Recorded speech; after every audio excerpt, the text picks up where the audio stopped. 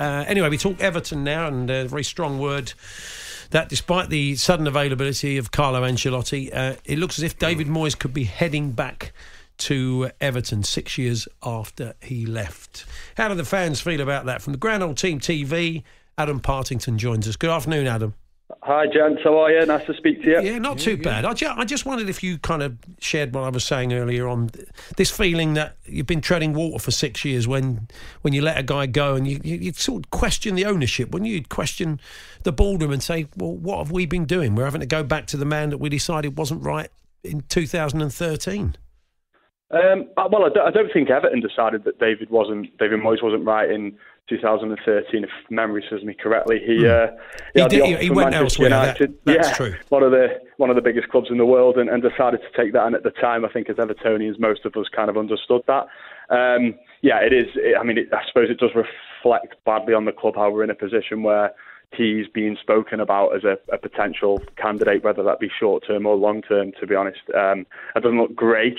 What I would say though, and I mean, if look, I never, I doing what I do, you know, I never like to speak for other fans, but I've, I do feel that I get a, you know, a decent kind of overview of, of fans' opinion. And a grand old team, we've run a poll uh, before the Chelsea game, incidentally, whether or not you know, we would we would like David Moyes to return to the club, and I think it was something like 80% of fans said no.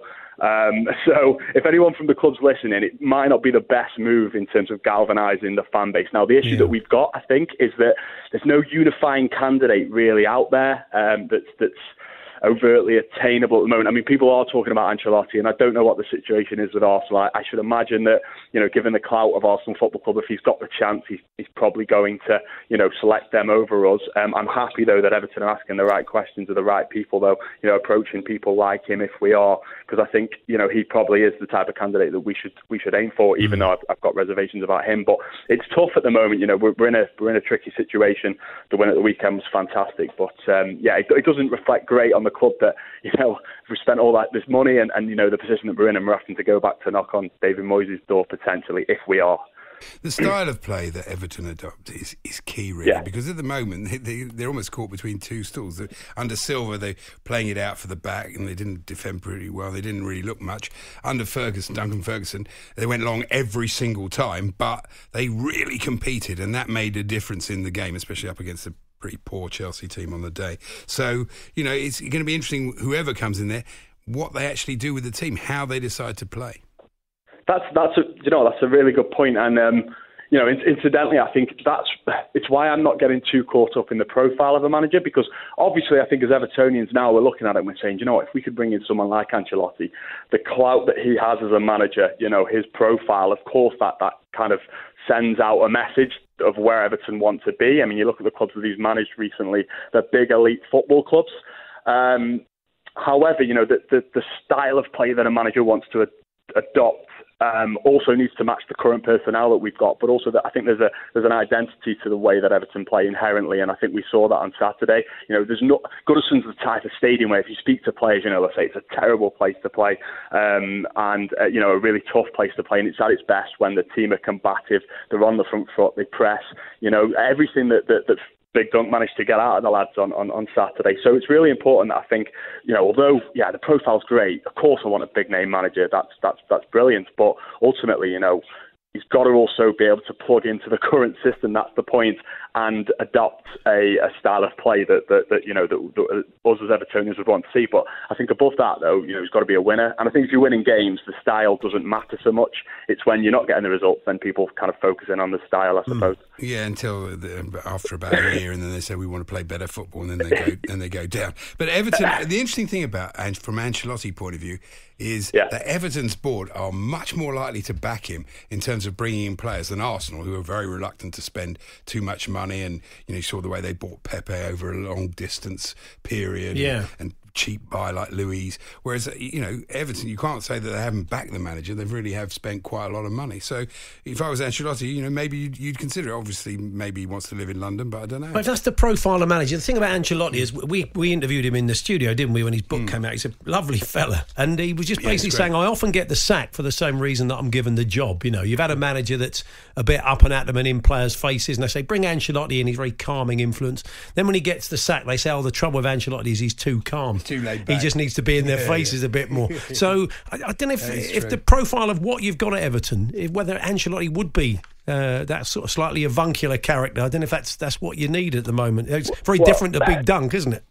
Well, it is. I mean, it's, it's an interesting point, and, and, and I wasn't aware of, of that interview that you, you did with him. But I think, I think I, I'm, I'm going to be inclined to say that maybe we do need a manager that's more in the direction of of, of up and at them, and and and, and uh, because Marco Silva was was a quite placid character. I mean, I'm not comparing for anyone starts people start tweeting me. I'm not comparing Marco Silva and Ancelotti, but in terms of the personality, I think by all accounts, you know, he seemed like a you know a quite um, placid guy, and you know was was was was quiet, and maybe wasn't that that big character. You know, you look across the park at the one that um, the one that, that they've got, um, the Reds, and I mean, I've, I've got in trouble recently for referring to him as an egomaniac, but you know, the guy the guy is a big character, he's a big personality, and, and, and I and I do actually tend to think that Everton do um, need someone like that now um, to, to, to you know to, to, to, really push these these lads on that we've got. Um, and um, that would be one of my reservations about Ancelotti. You know, I was reading before I came on, lads. You know, I was reading about you know the situation at Napoli and then at Munich before that, and there's some of the criticisms that were levelled at him. You know, they're kind of just going through the motions and, and, and maybe not um, motivating and inspiring players in the way that you know um, you, want your manager too. But with that said, though, if Ancelotti was going to be Everton manager, then I think that in itself would be a, a massive kind of uh, it would galvanise us as a fan base. I mentioned at the start of this, you know, there, there isn't an obvious unifying candidate, in, uh, you know, and I've, I've seen people saying online, you know, I'm not sure if Ancelotti's the right guy for the reasons that we've spoken about. But I think if anybody out of look, if it's a comparison between him and David Moyes, it's Ancelotti every single day of the week. So Yeah. uh, yeah, you know, fingers crossed. Yeah, I mean, I didn't phrase that quite rightly. Of course, he did go to Manchester United, but I've, I've got mates are Evertonians, and they felt it was the right time. And as you've said, I think people felt it wasn't a bad thing in some ways that you had a chance to start again, and that Moyes did move on. Um, and as I say, the return of him now, the fact he said eighty percent of you on on grand old team, that is that is a hefty majority, isn't it? It's big. It's big. Look, it's, I, look, I hmm. just want to go on record and say I don't. It's nothing personal against David Moyes. No. For me, I look. I grew up in the nineties. It was a dark time. Moyes, when Moyes came in, and he and he did he did take the club on. There's no doubt about it. But hmm. I think things have changed. Times have changed. We as a club have changed, and and also he's changed as well as a manager. I don't think he's the same guy he was when he left us, and his stock since then has gone through, you know, it's fallen through the floor, lads. So I understand it. You know, I would never dictate to any other Evertonian and say just because he, he did a, a relatively good job for us, that means that we should just go, okay, yeah, we'll, we'll take him back now. Even if it is a short term thing, I don't think it's the right appointment. And if there is anybody at the club listening to this now, you know, um, I don't know whether they listen to you guys. A compliment to you if they if they do. But if they do, and you can hear me now, I don't think it's a good idea, guys. I wouldn't entertain it. If, if that's the case, just run with run with Duncan for the meantime. I mean that because it's evident that he can get something out of the players and uh, and ride that, that big Scottish wave for a little while, I suppose. Good stuff, Adam. Thanks very much as always. Cheers, lads. Thank you. Cheers. Bye bye. Adam Partington Yeah, there from Grand Old Team. TV Yeah, on. Uh, uh, yeah, well, I mean, look, there's a lot to be said for that. It might be diminishing returns, but certainly at the moment, it's probably what the fans need, what the club needs. Yeah. Uh, Let's see. I mean, you know, you've got to give him more than one game Yeah, to see. you know, that was one thing the way they played on Saturday. Sunday will be a good test Yeah. for them. at- And it's cl- in pretty Fulham clear. United.